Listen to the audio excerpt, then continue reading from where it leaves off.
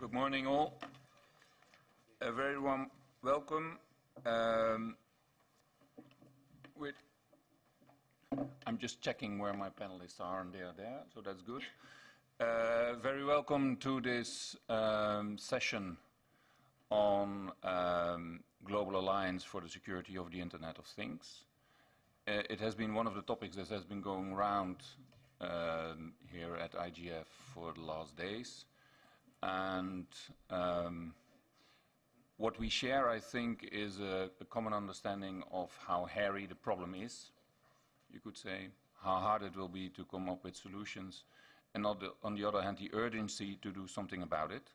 So to do that, we have uh, first a presentation of a Dutch initiative on uh, the security of the Internet of Things, on digital hard and software security. That will be presented to us by Sandra van der Weijden, my colleague on my left hand, which is right for you. And um, then we have some excellent panelists, which I will introduce uh, later on. Uh, they will go into questions, and there will be two questions uh, that will guide the discussion. And I really hope you join in. And the first question would be, what, what concrete policy options can you suggest to improve, uh, that would be, bring tangible improvements to IoT security? And the second one would be um, what approaches to IoT security should be avoided, um, given potential negative effects and trade-offs. Uh, I think that one is very important too, because what we don't want to do is to, to stifle innovation, to block access uh, to certain services or content or other negative aspects. And finally, I would like to address the question, and I hope we can get there within the hour that we have gotten, um, of what IGF could do to help promote the right approach to tackling the security of the Internet of Things. But first, I'd like to give the floor to Sandra van der Weijden for a presentation on the roadmap for digital hard and software security. Thank you. Speak to today about the Dutch roadmap hardware and software security. I would like to start with an animation. This animation will take you through the outline and guiding principles of our roadmap. I will tell you more about our roadmap and our approach in my presentation.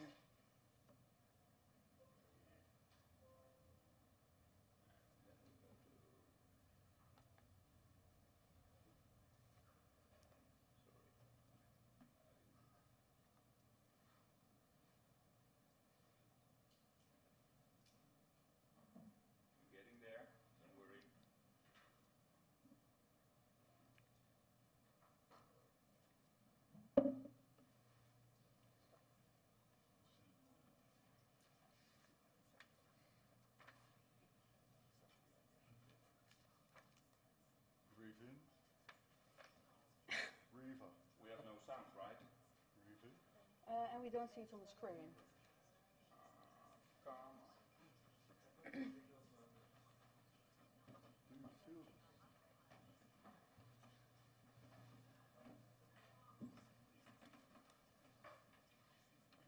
A classic case of the wrong generation trying to play with modern technology. Oh, we have. Mr. Right, you see, it's yes. a generational thing.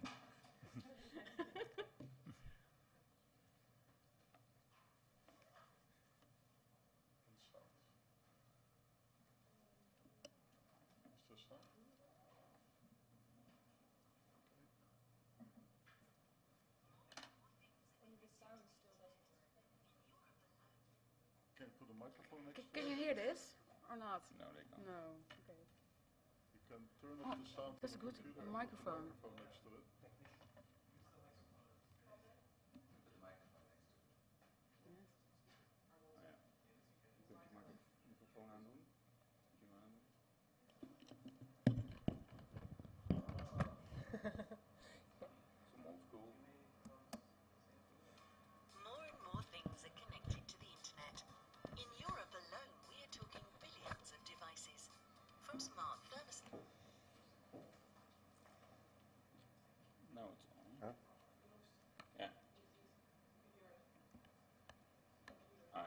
It on your earphones.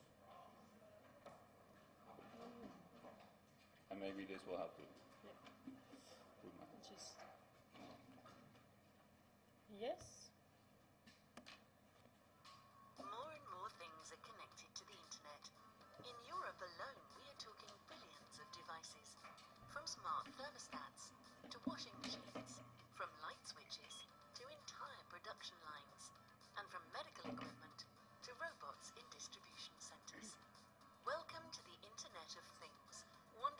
technology that can make our life and work easier and more efficient. But there are also risks involved.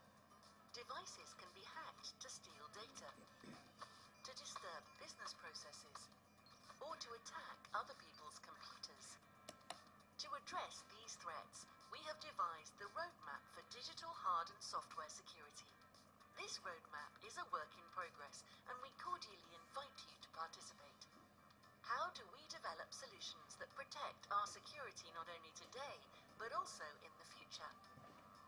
We have already taken the first step by formulating five future-proof principles to test solutions. 1.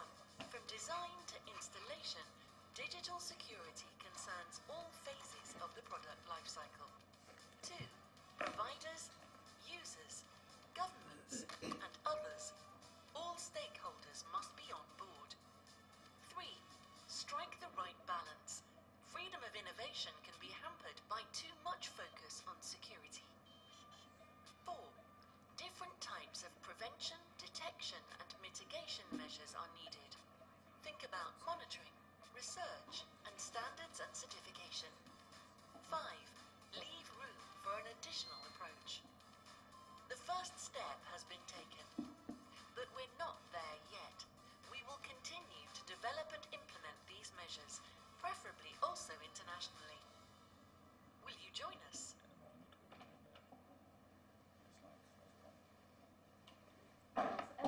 In the animation, more and more devices are connected to the internet. Expectations are that 20.4 billion devices will be part of the so-called Internet of Things in 2020. It is not an easy task to promote the security of all those devices. The Internet of Things environment is complex. Um, let me illustrate this point with a small example. The smart washing machine at my home. Um, as you can see on the screen, a lot of components are involved to do my laundry on a distance. My washing machine is connected to Wi-Fi and thereby connected to the cloud. Also, my smartphone is connected to the cloud. Through the cloud, I can tell my smart washing machine to start the laundry by just pushing the button in the app on my smartphone. This is really easy to use. Though, in all components, vulnerabilities could appear. In my smart washing machine, in the cloud, in my smartphone, and yes, also everywhere in between. And this is just my smart washing machine. Think of how this works for 20.4 billion devices. What would that do to the measures that are needed? And if you thought this was not complex enough, imagine that this smart washing machine at my home is moved to a hospital, a power plant, or a military facility. What would that do to the measures that are needed? With this complexity in mind, we have formulated five principles for a roadmap, as was also shown in the animation. Uh, the first principle is the so-called product lifecycle approach. Roughly speaking, there are three stages for every product. First, the preview stage, green on the figure on the screen. In this stage, a product developer, for example, designs my smart washing machine. Second, the use stage, blue on the figure on the screen. In this stage, the smart washing machine is at my home. As you can see on the screen, in this stage, there's also a little life cycle. If I, for instance, update the software of my smart washing machine, this update the last stage is the disposal replacement stage, red. In this stage, I, for example, replace my smart washing machine for a new one. It is important to keep all stages in mind when thinking about the measures we take. To illustrate, if a designer never thought about the possibilities of vulnerabilities in a use state, it would be really difficult, if not impossible, to update the software of my smart washing machine. Um, the second principle is the joint responsibility. Not only the government has a role to play to keep our products secure. More parties play or should play an important role in this matter. Although these parties are very diverse in nature, from multinationals to consumers, and also the kind of responsibility is often determined by the context. Uh, are we talking about a business to business or a business to consumer relation? In general, four distinctions can be drawn here. First, the providers, manufacturers and retailers. They are mainly responsible for the digital security of the products they offer. Second, the users, varying from consumers to SMEs to multinationals. They can create a high demand for secure products. For example, if we decide today in this room to go to the local shop and ask for secure smart washing machines with software updates for 10 years, and better, we would also ask our family and friends to join us. We would give an enormous push to providers to develop this kind of products. Also, users have a responsibility to keep their products secure. However, this is easier said than done. Also, when I look at myself, for example. My first reaction when I see a software update is, uh, if I'm quite honest here, not to install it straight away, but to swipe it away, because I want to finish the YouTube movie I watch. Though, in a split second I made this decision, I didn't think about the longer term effects, such as that my smartphone is easier to access and thereby also my personal information, or that my smartphone will be used for a DDoS attack to disrupt business operations. So, for the effectiveness of the measures we take, it is important to keep this so-called limited rationality of users in mind. Third, the government. Also, the government can stimulate the demand for secure products. And the government is responsible for upholding public values. Fourth, other parties, such as consumer organizations and scientists. They can also contribute to the security of our products. The third principle is balancing public interests. A dynamic balance between security, freedom and economic growth is needed when promoting digital hardware and software security.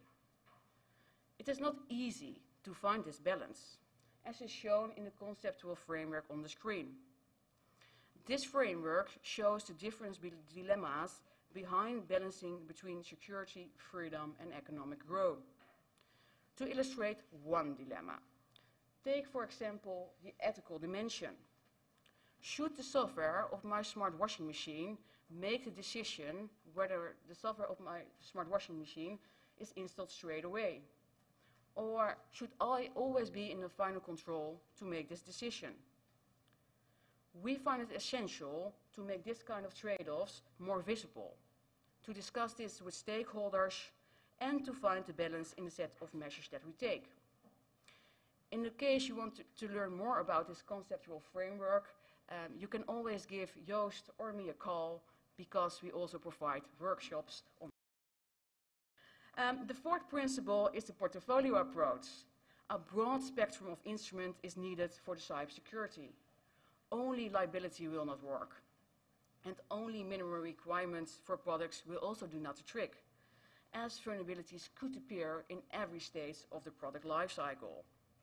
Therefore, prevention, detection and mitigation measures are needed. Prevention measures, such as stationary requirements to keep non-secure products from the market. Detection measures, such as testing for digital security, to detect vulnerabilities throughout the product lifecycle. And mitigation measures, as liability law, to claim the damages caused by unsecure products. This brings me to the fifth and last principle of our roadmap, room for a complementary approach. Our roadmap leads the way to increase the, the security of hardware and software. It offers nine building blocks, nine measures that are needed to promote this security. First, standard and certification. We support the swift adoption of mandatory certification for spe- specific product groups and on the longer term, uh, the expansion of all that to all products with internet connectivity. Second, monitoring digital security. In public-private partnership, we aim to develop, if possible at international scale, so I hope you will join us, a monitoring mechanism to share information on the security of the products. Third, cleaning up infected products. Here we seek to explore the options for internet service providers to combat unsecure IoT devices. Four, testing for digital security. We work on a cross-sectoral cybersecurity testbed. Five, cybersecurity research. Uh, amongst others, this research stimulates innovative solutions for unsecure products. Six, liability. Uh, amongst others, the Netherlands is an active participant in the EU Liability and New Technologies Expert Group. Seven, stationary requirements, supervision and enforcement. The Dutch government is investigating how, under the European Radio Equipment Directive, minimum security requirements can be set for specific IoT devices. Eight, awareness campaigns and empowerment. These will be organized in coordination with the launch of our IoT policy initiatives to support their adoption and to increase their impact. Nine, national government procurement policies. In the Netherlands, the government is the largest buyer of ICT products and services. To use this power for the public good, uh, we will investigate which additional measures for hard and software security can be set in its procurement policies. However, besides these nine building blocks, complementary requirements will still be required, if not already taken. One of the reasons for this is that each domain and each sector has its own risks. This roadmap therefore leaves room for additional measures. Also, this roadmap is work in progress. We will continue to develop and implement it along with relevant stakeholders. And I hope you will also join our road trip. Thank you very much for your attention.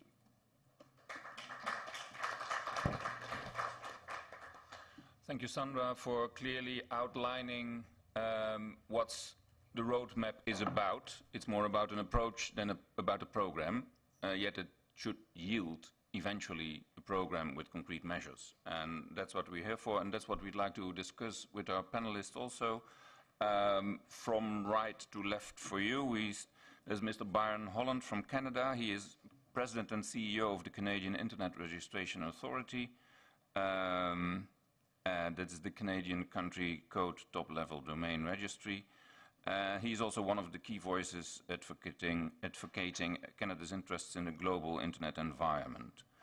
Uh, then Mr. Maarten Botterman uh, from the Netherlands, also from the Netherlands, I might say, uh, Director of ICANN and consultant uh, for the Global Network Knowledge Society and also chair of the Dynamic Coalition on IoT from the IGF.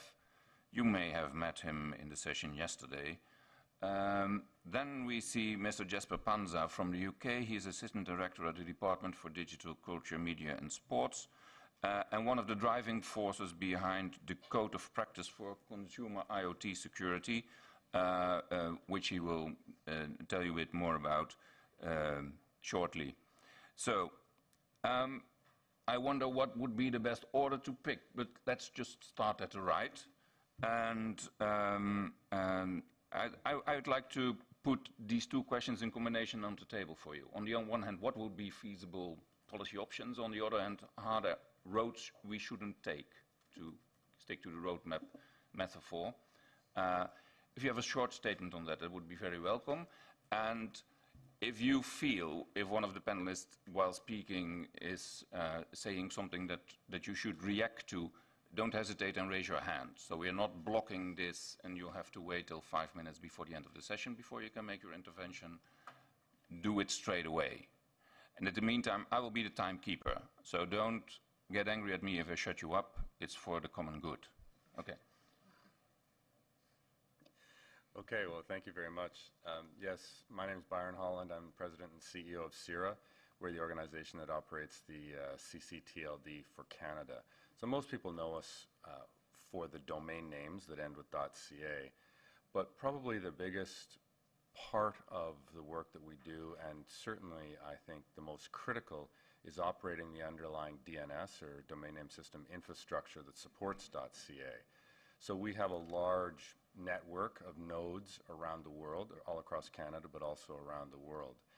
And that's the perspective from which I think about IoT and IoT security in specific, because as many of you will remember, back in 2016, there was a, a, an attack on a, on a large and sophisticated provider of DNS services, a company called Dyn, which took out much of the internet across the North American eastern seaboard and some of the largest sites uh, on the internet, CNN, Twitter, sites of that, of that size and scale.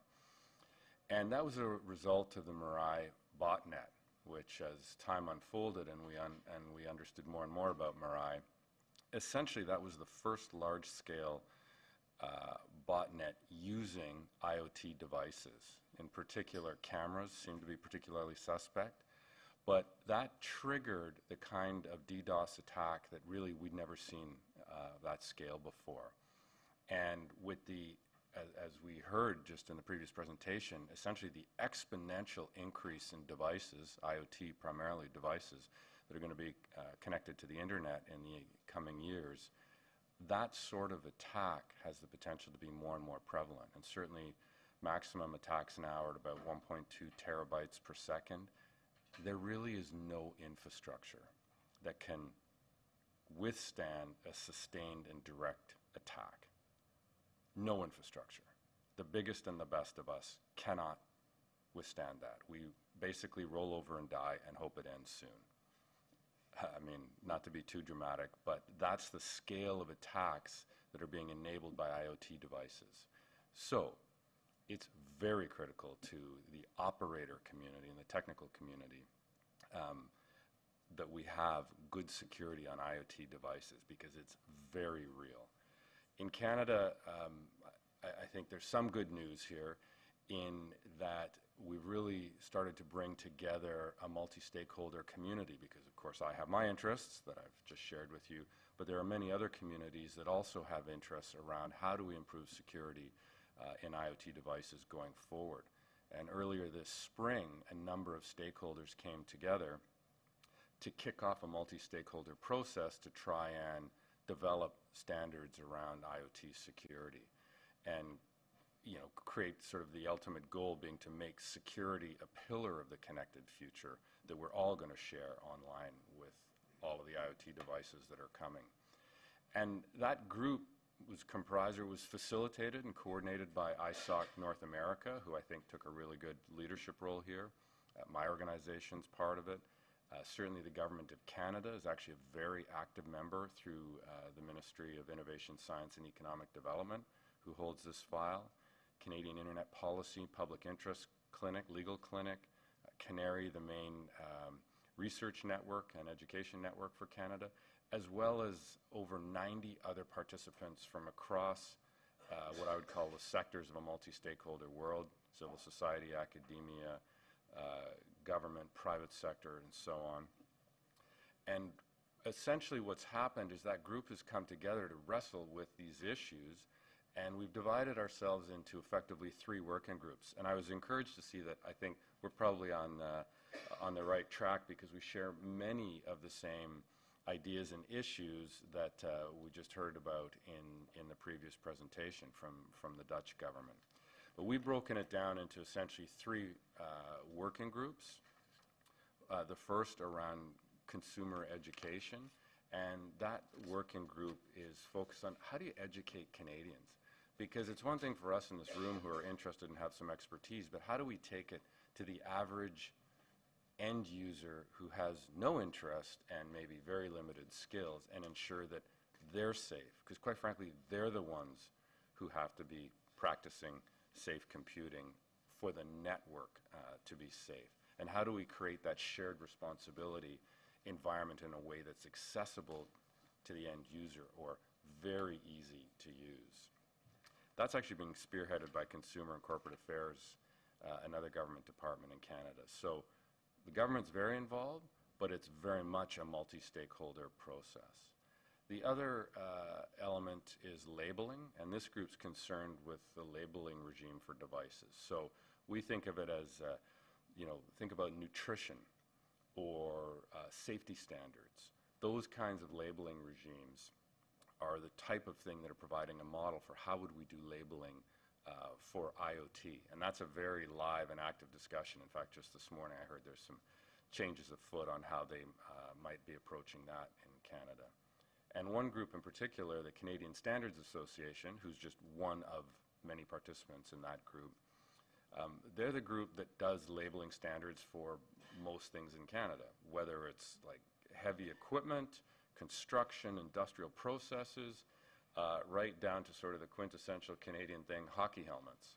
I mean, you cannot buy a hockey helmet in Canada if it does not have a CSA stamp of approval on it. So that group is really struggling with how do you do labeling, and especially how do you do labeling in a very uh, fast-moving and an evolving space that needs uh, software updates, presumably on a regular basis.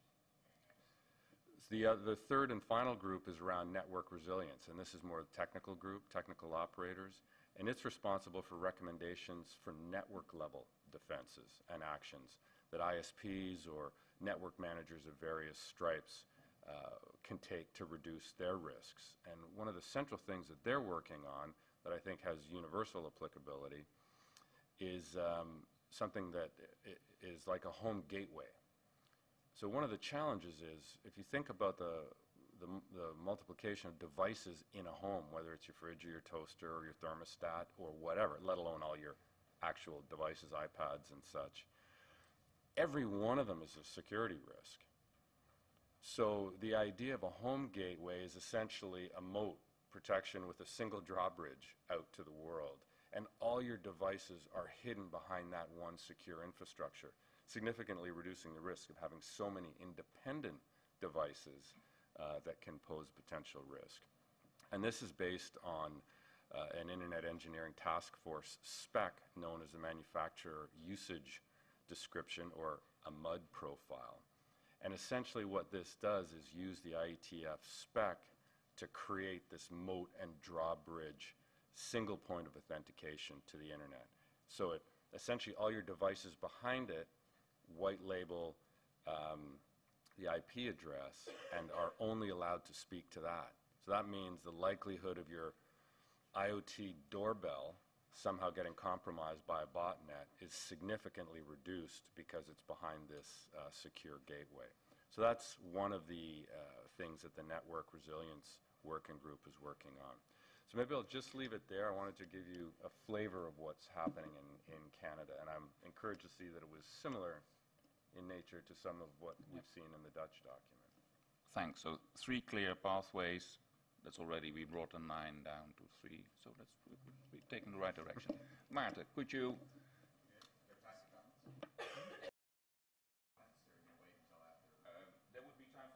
Quick comment. I'm, uh, Yes, fine. I just wanted to challenge the idea that we don't have ways to protect websites. I mean, you're, you're right if you say one website is going to be knocked offline by a terabit attack. I work for Cloudflare, and we protect 12 million websites. And if you sign up for our free service, your, your data will be put in 155 different places, and nobody will be able to knock you off. I mean, this is, this is the approach that people are taking because, as you say, one site is, is vulnerable. If you're spread out, you're a much broader attack surface, and we have a 20 terabit network. That's adequate to deal with the biggest, net, the biggest attacks. Okay, very well timed pitch. Thank you for that. Maarten. Yes, thank you. Uh, Be nice if I put all my devices in the the Cloudflare network. I don't have to worry anymore. Thank you. Uh, So uh, basically, uh, what's clear here is that there's multiple tracks that we need to pay attention to. It's the technical innovation track, it's the deployment track, it's uh, how we deal with it in terms of awareness, and how we work together to make things work. Uh, Example just given. And uh, all these tracks have their life course. What we see at the moment is that the technical innovation track is the one that is moving so enormously fast that uh, new things come on the market all the time. And uh, that's interesting and, and useful because there's so much challenges in the world that we need to tackle and there's so much more nice things that we can do or, or, or make money with.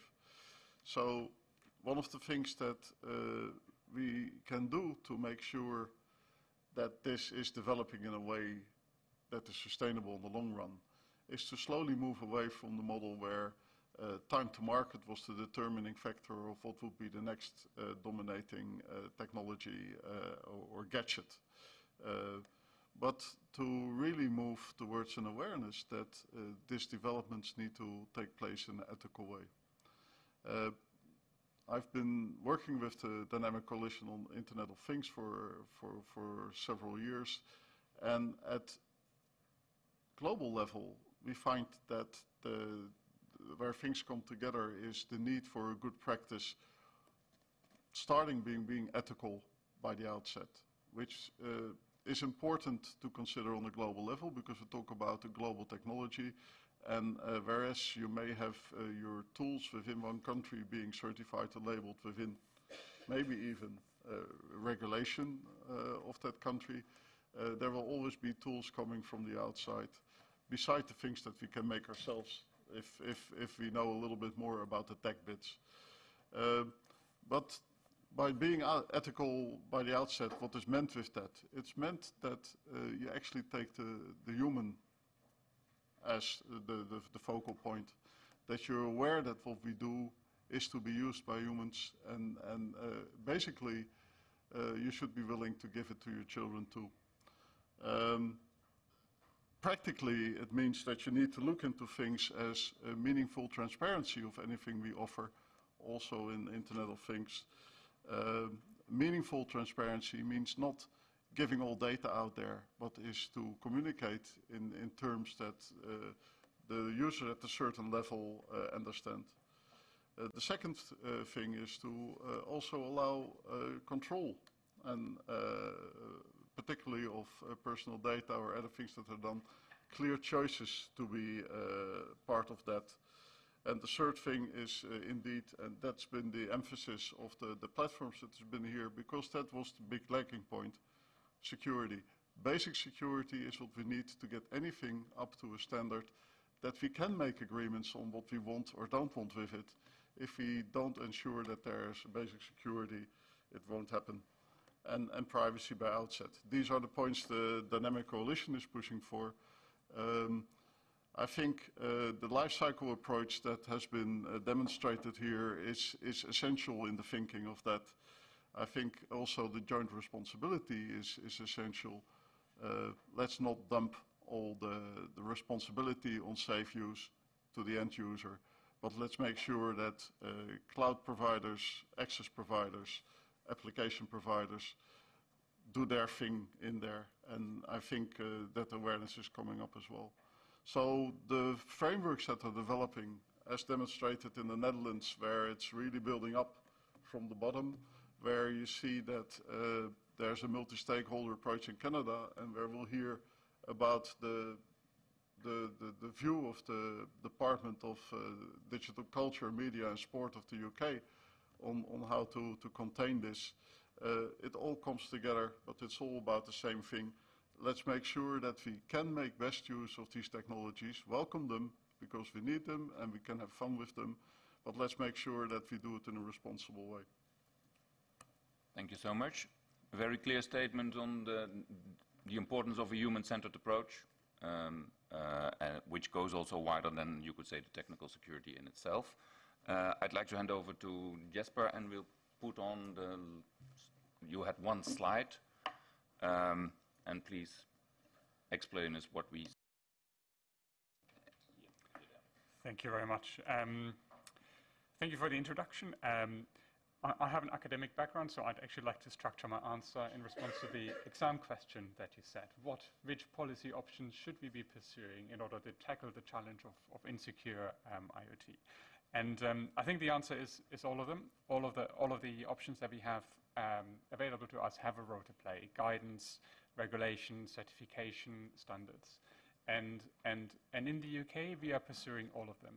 But, um, but my overall message or my overall um, conclusion would be that we need, to, we need to focus on the basics. We need to make sure that we get the basics right and also move forward swiftly.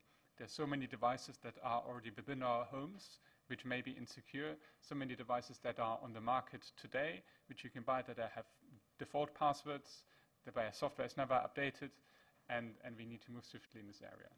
Um, so, so let me let me talk about um, good practice, regulation, and and uh, certification in a bit more detail. Um, so I think at the beginning, it is important to set out what good looks like in, in IoT security. This is the this is the basic. You need to know what good looks like in order to develop regulatory options, in order to develop um, certification schemes because even with certification, you need to test against a baseline, you need to test against some uh, kind of standard. Um, when, you, when you try to define what good looks like, um, it is also important to, to uh, do this in a process um, with the stakeholders. So you need to do this with industry, you need to do it with society, consumer, associations, and academia um, in order to develop this consensus across your stakeholders. Um, um, and we, in the UK, we have done that. So um, uh, this is my um, opportunity just to um, talk you through briefly what we have done over the last few months. Maybe there is a way to make the slide bigger uh, because I, I, realize there is a lot of text in there.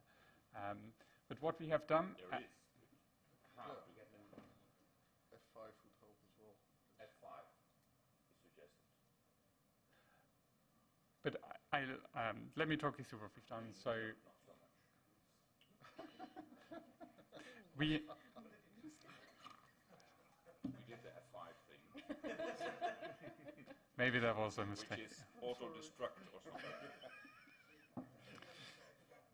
So in our effort to um, to set out what good looks like, we about 18 months ago we have started the process of bringing all the stakeholders together, um, uh, which has then um, uh, culminated in the code of practice, uh, which you hopefully will see on the screen in a little while again.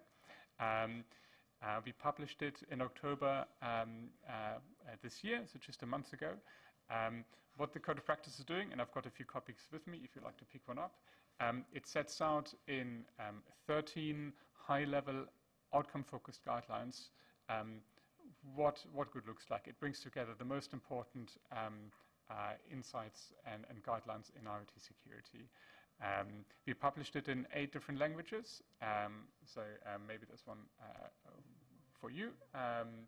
and it is a code that is for uh, the manufacturers, primarily of, of IoT devices and also software developers.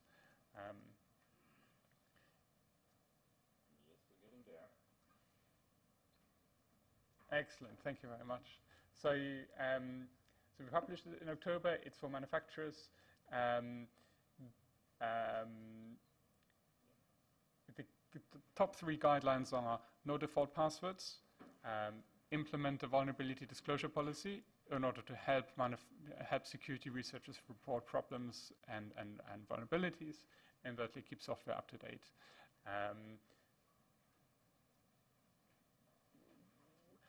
we, so we publish this. Um, we will be also developing this into a global standard through ETSI, the European Telecoms uh, Standardization Institute. And we heard from Sandra that standard development is important. And we, I, I welcome you to join us in this process. We hope to finish um, the standard development in January or February next year. So it's a relatively swift process. In the UK, we have, when we published um, the code, we have engaged with industry and um, we have invited pledges from manufacturers of IoT to implement the code. And I'm pleased to say that two um, large industry organizations have pledged to implement, that, which is HP and Centrica Hive, who produce smart thermostats and similar devices. And in the UK, we'll continue um, uh, going down that route and invite industry pledges. Um, right. I think this is what I this is what we've done in this first bucket of setting out what good looks like. I see a hand up to challenge. Yes. I'm Jan Willem. I'm a software developer from the Netherlands. Um, just a quick question. It's about keeping software up to date, but um, how do you deal with deprecation of the hardware device? You cannot keep a uh, device supported for like maybe 20 years, keeping the software up to date with the latest security standards. Sometimes you have to like make a law that you need to keep software up to date for 10 years, or somehow enforce users to update to a newer device. we need to take a life cycle approach to this, right? So, and I agree with Sandra, who, who said as well that um, there's different stages of the life cycle. You need to think about security in the development phase, in the phase when the, when the product is being used, and at the end when the device is being disposed of. All products have a life cycle and have an end of life. So at some stage, the device will be disposed of or will be handed over to another user. So when it comes to software updates, I think the important thing here is transparency, is to make it clear to the consumer when they go to the shop when they buy a product so that they know for how long the device is being supported with security updates. At the moment, it is, it is, it is very hard to find out for how long um, your internet-connected um, security camera will receive the software updates. It may only be one year or two years, um, but what happens, um, what happens afterwards, um, um, then it needs to be clear for the consumer. If, if I look at the Dutch roadmap uh, that was just outlined, there are elements in there that might help here. So one other thing is the gateway approach that also uh, Canada uh, demonstrated or told more about. The, the other one is the, the clarity in consumer information. And the third element would be uh, whether you can disconnect your appliance and it would still function. So at some time, point in time, you can decide, okay, I still want to do my washing with this machine because it's excellent, but it's no longer safe, but I can disconnect it and it will still have its basic core functions. Um, and it still has to be played out. There is no definite ans- answer yet, but it's definitely a, a problem because the life cycle of appliances hardware is longer than software may expect. I see two, three hands. I'll move from back to four, front if you uh, will. Yes? Um, Fiona Leszniewska from University College London. Um, I'm often when everybody speaks, there's this uh, ideal user and the ideal story of the ideal user.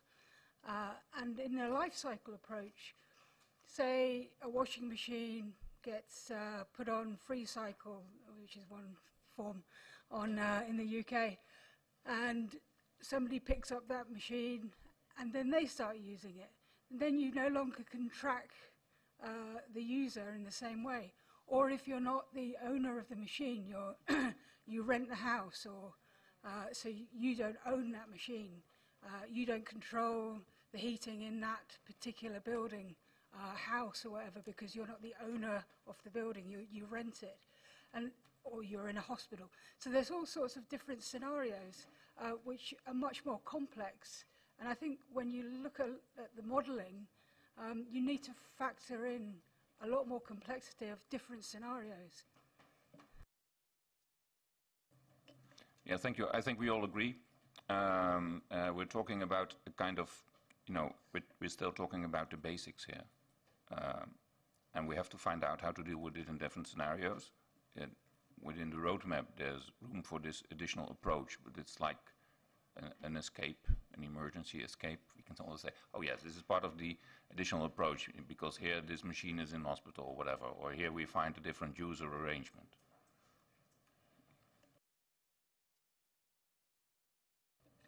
Right. If I bring us back to to um, to my uh, attempt to address the exam question, so that was the first part of setting out what it looks like.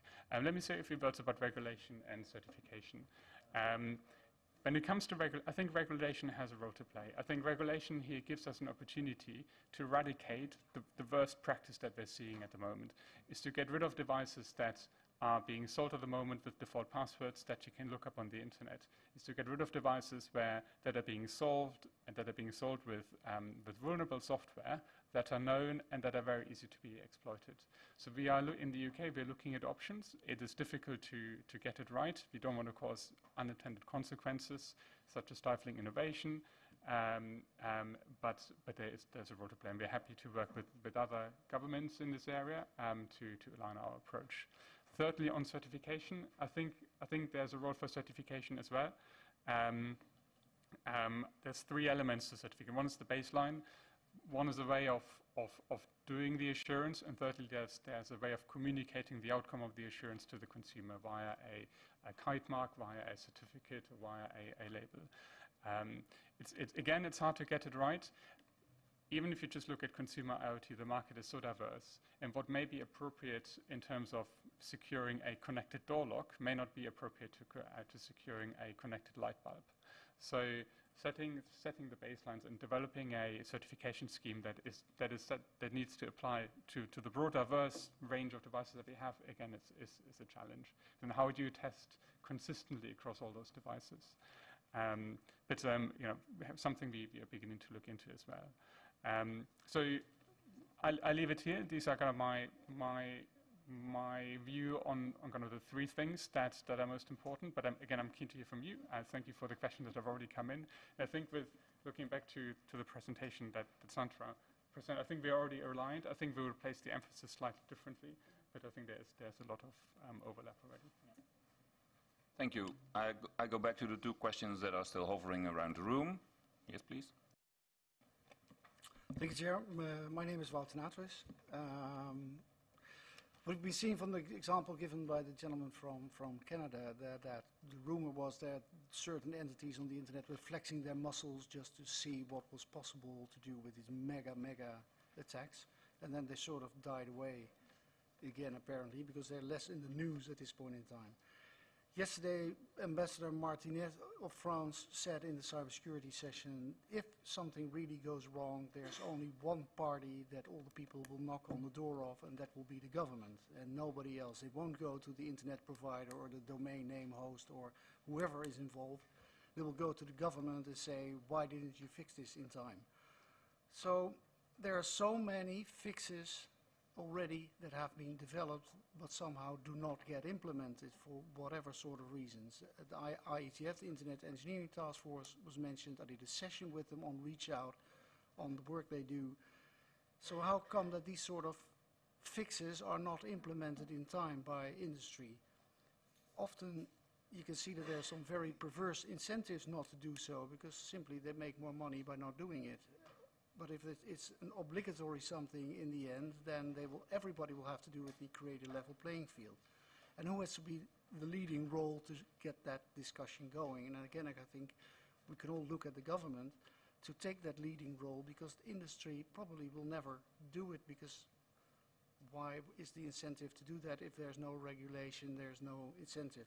So, and I will end up with an, with a, uh, uh, an, an, an um, example that was provided by the automotive industry recently, by the car builders, then something came up that they would have to update all the systems, about 117 in new cars, ICT systems, that they would have to update them for at least seven years and be responsible for that update for whoever manufactured the software.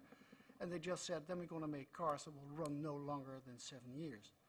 And then I thought, who can afford to drive cars that will only be around for seven years? 50% of the population probably can't, and I'm not speaking about Eastern Europe, where they move to next, and then for the next 20 years to Africa, where you can see Peugeots built in the 70s and 60s driving around. So in other words, that is not a sustainable model. And that is an, ex an example where I think things will go wrong if there's no sustainable model created by somebody and again, I say the government.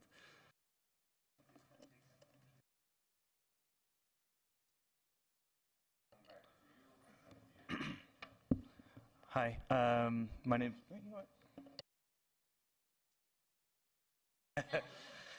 Hi, so my name's uh, Taylor Bentley. I'm with the Government of Canada. So I lead ISED, um, ISED's participation on the Planning Committee, and or I I support my Director General, who's on the Planning Committee. I also lead the Government of Canada coordination on this. So, you know, happy to say that we have at least 12 different uh, departments and agencies involved. So, um, to your point, um, yes, thankfully we have not had life-threatening instances of attacks. Uh, if we had, uh, then there would be several post-market mechanisms in which governments could levy on these type of manufacturers, right? Uh, consumer safety acts, there's, uh, you know, deceptive marketing practices, but the time is getting rather long on this, right? So the, uh, basically the, the clock is ticking. Um, you're right, the incentives um, for some manufacturers are not quite aligned, especially ones that are not within our borders. Um, but what we do is we, we bring them into our initiative and we say, listen, the clock is ticking and we need to pre- preempt the need for any kind of um, responsive action. Because you're right, if that instance happens, um, you know, it will go to the highest political level and you'll get a reactionary response. And I don't think that's best for anyone. That's not sustainable. So we need to do the work now with everyone on board in a multi-stakeholder approach. The beauty is engagement and buy-in, right? And you're talking to everyone who would be responsible for implementing. Um, so we definitely welcome your, your, your comments on what would would work as a sustainable option that seems like it hits this right balance um, of, of all the different, because you're right, there are lots out there. Um, the key is having this conversation about what works in the long term and what ultimately preempts the need for, for a, a heavier handed approach. And that's the priority of the Government of Canada. So thank you very much.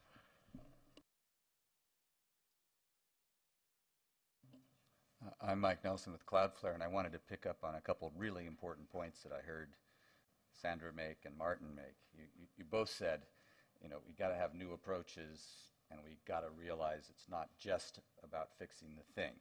It's about building security into the network. But unfortunately, this, this slogan, every device updatable, no default passwords, runs against that.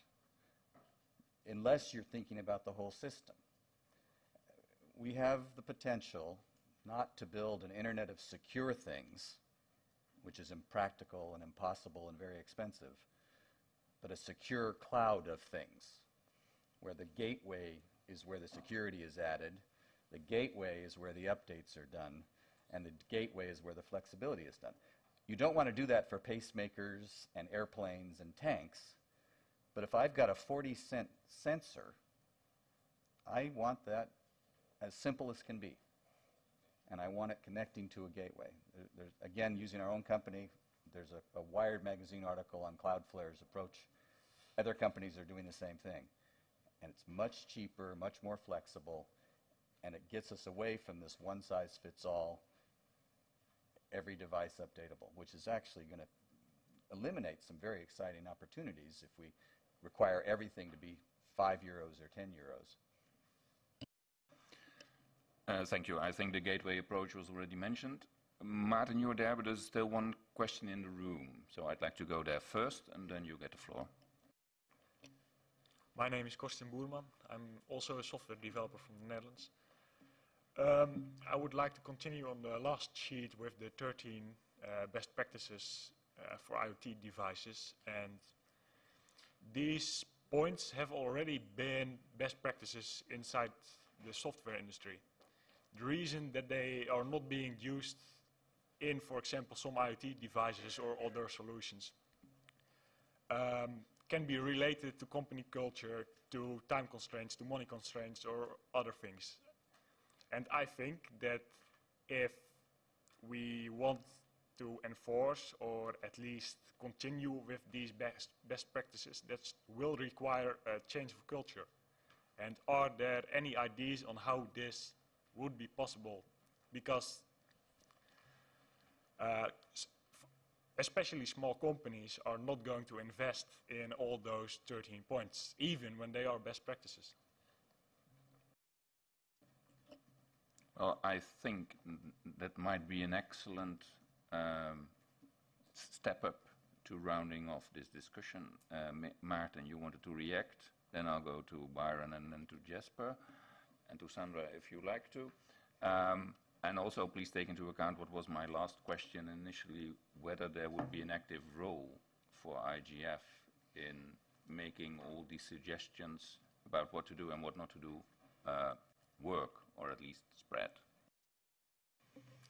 Yes, thank you. Uh, and thank you for that question. I'll leave it to Jasper to respond to. Uh, more widely on uh, uh, the point also that, that Mike made. Of course, we cannot just secure the devices, but what we need to have for devices is some standards. That's clear. Uh, they're not there yet, they're under development. And standards only make sense if they can then inform choice. So you need to have some kind of certification and labeling to, so people can know what it is. Uh, just, it hasn't been mentioned, but the core of the Canadian project, which I like so much, is the aim is to get consumers to make smarter choices.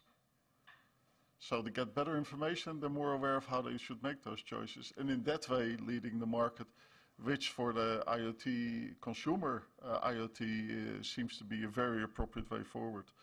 Uh, that you cannot rely on the safety of the devices alone. Uh, I'm 100% with you. And, and just make sure you don't mis misunderstand uh, Mike. He didn't say just secure the gateways and you're done. I mean, that's old security thinking. We secure the front door and once you're in, you can do whatever you want. With some devices, like your electronic toothbrush, that's not that much a problem. With other devices, like a pacemaker, it is. Uh, so uh, that's also uh, that part. Now, the role of IGF, I would say don't wait for the IGF. And don't wait for Berlin to happen. But continue doing your thing in, in, in contributing to, to what we're doing here. And next year at IGF, let's compare notes again and see where we got, what the issues remaining are. And I think uh, that's the best uh, added value uh, this place can offer.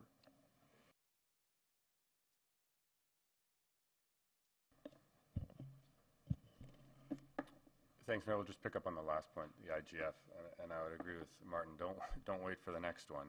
Um, go back to whatever uh, environment you're from and continue to work on on these issues. And you've heard some examples and stories and contrasting points, which I think we can all learn from. And I think that really, to some degree, is the value of the IGF, is the ability to come and participate in the kinds of conversations that we have here with people who are doing different things in uh, different jurisdictions that perhaps can be applied. But I do, when I listen to, in this case, three different countries' experiences, um, they do share a lot of similarities and a lot of, I think, paths that are being marched down at this point. So I think we can already start to see the shape of the future to some degree. Now the question is really uh, around executing in our respective jurisdictions and cross-cuttingly across the uh, industry. So IGF is a good place for those conversations, but really it's about going back home and implementing them in a way that's consistent with uh, your jurisdiction's requirements while recognizing that this is a cross-cutting technology across silos and across countries. So how do we make sure that we make good, consistent decisions uh, across all those jurisdictions? And I think that's one of the great challenges of this space. Okay, thank you. Uh, Jesper, please be short, otherwise people will think the next session has started. Sure. I, I agree um, with the previous speakers on the role of the IGF. We need to move forward. We cannot wait for, for, for the IGF to, um, to make much progress. We need to move forward with our own national initiatives in the meantime and coordinate. On the 13 points, yes, they're already um, common practice in IT, but in IoT they are not. So we hope with setting those out, we can move the conversation forward from what good looks like to actually towards implementation. And we want those to inform um, all the relevant initiatives that are happening to improve IoT security. Okay, thank you all for your attention and your contributions. Thanks to all the panelists. Thanks to Daphne and Arnold assisting in reporting and the online conversation. And um, with that, I would like to conclude this session. Thanks.